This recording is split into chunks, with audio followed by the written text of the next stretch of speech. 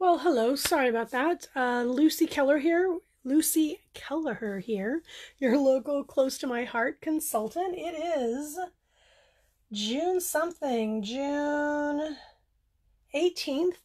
It's uh, a Thursday. I keep thinking it's Friday, and yet it's not, but it's Friday Eve, as a friend of mine just told me. And I'm here with another episode of Craft with Lucy. And this is episode 13, so it's lucky 13. And we're going to make another card today. And just so you know, I don't always just make cards, um, though you wouldn't know it by my lives. I will be doing other types of crafty events. We just happen to be working on Aurora right now, and we're going to make another card out of the Aurora workshop. And this is what that card looks like. And let's see if you can tell. There's some shimmer on there, so we're going to have some fun with this. This is uh, the sentiment is "You mean the world to me." This comes from the Aurora card work card making workshop uh, from Close to My Heart, which is a full-on kit, has everything you need except for the ink. And you get a exclusive stamp set, which you can see here, has four different sentiments, sending smiles across the miles, you mean the world to me, you color my world, spelled two different ways, pretty pennant, some clouds, uh, a couple of stars and hearts and arrows, and then a dotted line here that you can add to a project. What's really nice about our Workshop Your Way kits, not only do you have the project that you make where you have, in this particular one, 16 cards for each of four designs, but you also get some products in here that can be used after you finish. In this particular kit, you're going to get this stamp set along with this exclusive thin cut set. So you'll see there's a circle, which you can use on so many things uh, two different types of globes or worlds, and then also a pennant. Okay, that coordinates also with this so that these sentiments fit perfectly right inside the pennant banner. And um, you can also put other sentiments in there. All right, you also then get these instructions, which is amazing. So it takes all the guesswork um, out of putting these cards together.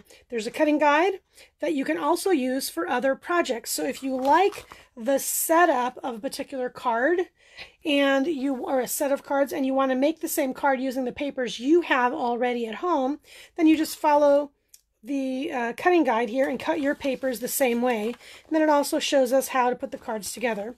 We're going to put together card number four. So I'm going to set this aside. For this project, we're also going to have charcoal, peacock, and glacier ink. I'm going to be using a shimmer pen, and this is, I believe, is mint. Um, in the kit, you're also going to get a pack of silver glitter gems. We're going to use that. So I'm going to bring this over into view. This is a standard A2 size card uh, four and a quarter by five and a half. First thing we're going to do is we're going to take our background paper. Uh, our design designer pattern paper is a, it's double-sided. And so you'll see there's a pattern like this and there's a pattern like that. Uh, we're going to go ahead and use the um, constellation side, but you can also use the arrow side. I'm flip that over. And I'm using our Versamat. I also have a different kind of a mat uh, that you can use for adhesives, but you know, for tonight, this isn't too bad. I'm using our Tombow Mono Liquid Glue. It is liquid, and so I don't have to go all the way to the edges because it'll smoosh out. Um, if you're on tonight live, please feel free to say hi and let me know where you're from. And honestly, if you're watching on replay, love for you to comment below and let me know where you are as well. I'm going to go ahead and take this piece. This piece of paper was cut, uh, let's see here, three and three quarters by five. Okay. Now what I like about using a grid mat underneath my cards or my projects is it kind of helps me line stuff up. So if you don't want to pull out a ruler or anything like that, you can just line up and then eyeball centering this piece. I'm pretty darn close here. Go ahead and lay that there. Okay, then we have two circles that we cut out using our thin cut for this set. Close to my heart paper is two-toned. There's a light and a dark side. You can see this side's a little darker, this side's a little lighter. That is our, um, see here, that is our sage paper. And then this here is glacier, and again you'll see a lighter side and a darker side. For the sage circle, we're actually going to use the light side. So as I flip this over, you can see that's a little darker.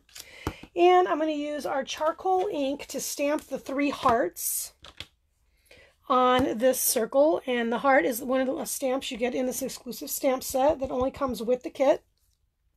And I'm just going to take it and stamp three. There's all these design elements, and they always have odd numbers. So you wouldn't stamp two, you wouldn't stamp four, you'd stamp three or five. So there you go. I'm just going to add that again using the charcoal ink. So that's that circle. For my other circle made out of glacier, I'm going to use this globe. This is the thin cut image we cut using, see here, this thin cut. You use a Cuttlebug or a Sizzix or whatever um, kind of machine that you have to use that, to use thin cuts.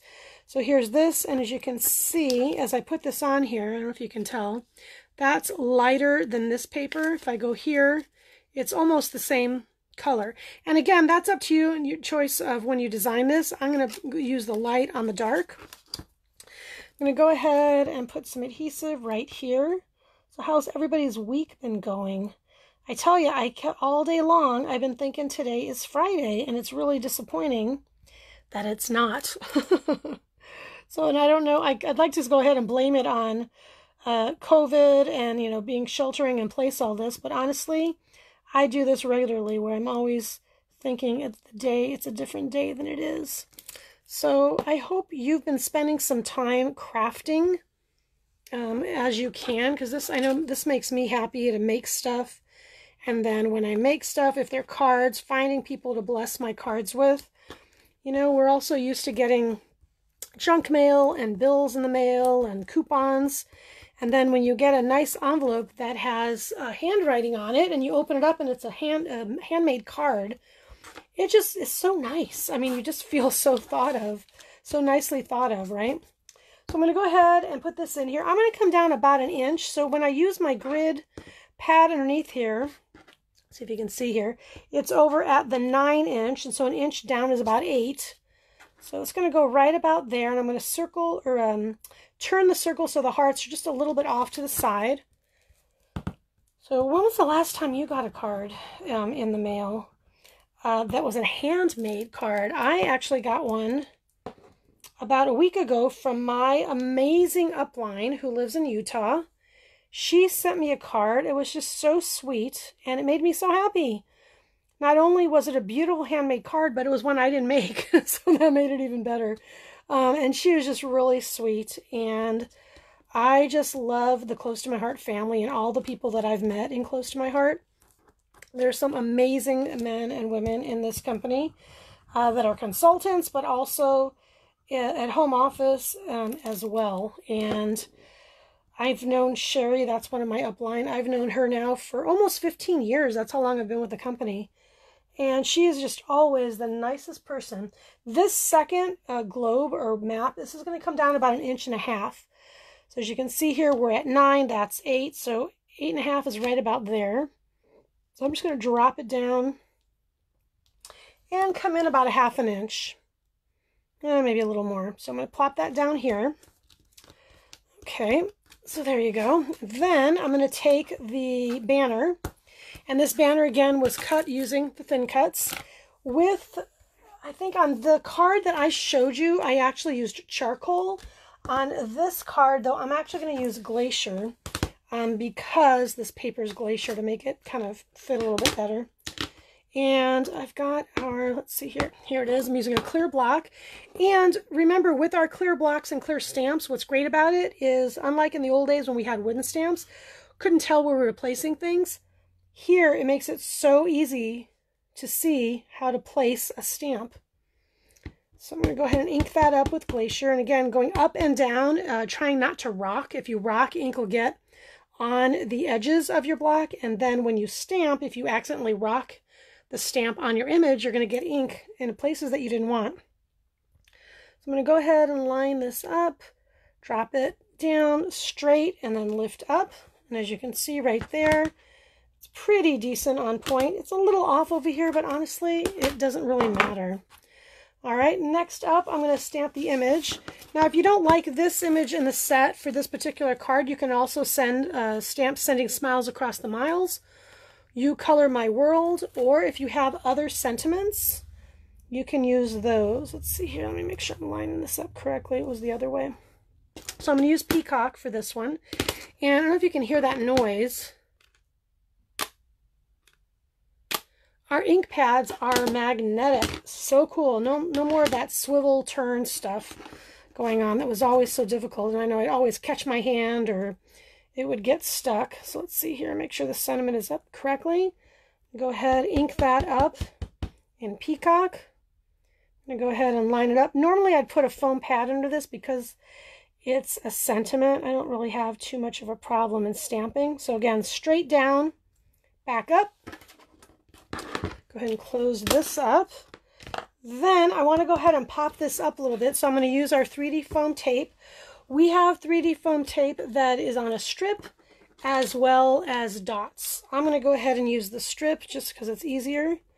You can cut the strip or just tear it. Right, no one sees the back anyways, so it doesn't really matter. And so you can tell right here I actually got a little bit on there. Um, it hangs over a little bit, so I'm just going to take my scissors and let's see here, just cut it off so that you can't see it. There you go. So 3D foam tape gives it a little extra dimension. Kind of pop that, oh, right about there at an angle. Then before I add the chevrons here on the bottom, I'm going to go ahead and take this mint shimmer brush and I'm kind of going to give it what's called a wash over the words just to give it a little something something as a friend of mine used to say so I just do that over and I don't know if you can tell but this shimmer brush has glitter in it and it just adds a little extra to the image let's see here if I can bring it close enough so you can see so it's got that wash there. It's got some glitter that you can really tell in person. You could do this one of two ways. If you decide to do the wash first, let it dry, then ink on it. This time I inked first and then put the wash over it. And um, yeah, so it's a really kind of cool look. Then I've got two pieces of half inch by one and three quarters and that's a zip strip, which is the top of our paper packs, so you can reuse that, that paper. And I'm going to go ahead and make it into a little chevron, I think is what it's called. And just by folding it, cutting from corner to corner, and again on this piece, I'm not folding it so there's an actual seam. I'm just folding it enough in a loose fashion so that I can just cut it to make that little arrow. Then I'm going to go ahead and take this with my adhesive. Get that down there. And I'm going to put this on the card about, oh, let's see here. The directions say about half an inch. So I'm going to go ahead and follow that because I think that's a good placement. So that's the bottom of the card. A half inch is right about there. So put that, line it up with the edge of that paper. And then I'm going to take, this is sapphire paper. And you do get a bit, piece of 12 by 12 sapphire cardstock in your paper pack or in your workshop kit. And again, it's two-tone. There's one side. Then you can see this side's a little darker. And I'm going to use the darker side because we're going to add some bling to this. And if you recall, I said earlier, in this kit, you are going to get a pack of silver glitter gems to use. And the directions say to pull, put this about a quarter inch from the bottom of that one. So I'm just going to go ahead and eyeball that, pop that down there. So you get a full pack of glitter gems. Even after you make all 16 of these cards, you're going to have some leftovers, so that's really nice. The glitter gems are going to come in a small, each pack comes with a sheet of large gems as well as smaller ones. We're going to take and put two small ones right here. And again, these are adhesive already, so you're not going to have to use uh, any glue to put them down. Um, I actually usually have a, uh, oh, I don't have it here. Um, oh, I can't remember what it's called. It's a different tool, so I'm just going to use scissors to slide it off and trying to make sure I get the adhesive with the gem. There it is. And I'm going to place it right there on the card. Slide it down just a little bit because I'm going to put another one there. Uh, slide this off again. Pick it up. Whoops. Oh, there it is on my hand again. There you go. And place it right there. Oh, wow. I couldn't have, was perfectly placed enough to move it. So there you go. Another cute little card using the Aurora card making workshop. We are going to, um, this kit is only going to be available until the end of the month. And we actually have a live event that's coming up uh, next Tuesday, which I'm going to say is the 23rd, uh, from I believe it's 1 o'clock Pacific time. Where, if you've got this kit, we're doing a walkthrough of how to make all of the cards. Um, it's a live event that's going to be on the Close to My Heart official Facebook page. Um, you don't have to purchase anything to attend. Um, if you don't have this kit and you just want to see how it's made and get some great tips and techniques about how to do things, click go. I'll put the um, link in this post. And once you mark going, you're actually entered into all the giveaways that Close to My Heart does. And they're very, very generous with their giveaways. And so you don't have to buy anything to either participate or to be entered into the giveaway. If you do want to make the cards we're making exactly rather than using your own paper and stamp products, um, I'll have a link in my post of where to purchase the products and you can check out what that looks like. And, you know, if you want to get a, a discount, a 22% discount on your products, just like a Forever Always Hobby Lobby or Michael's coupon, you can always become a consultant and join the family and um, use the discount to get all of your products, or excuse, yeah, use the discount to get all of your products at a discount. Um, I actually did that for the first five years of being a close to my heart consultant, and it was awesome because every day I got something on sale. So if you want any information about that, just let me know. Uh, thanks so much for stopping by on my Facebook Live. Happy Friday Eve. Uh, please let me know in the comments if you have any questions or just let me know how you like the card. Thanks so much. Have a great evening. Bye bye.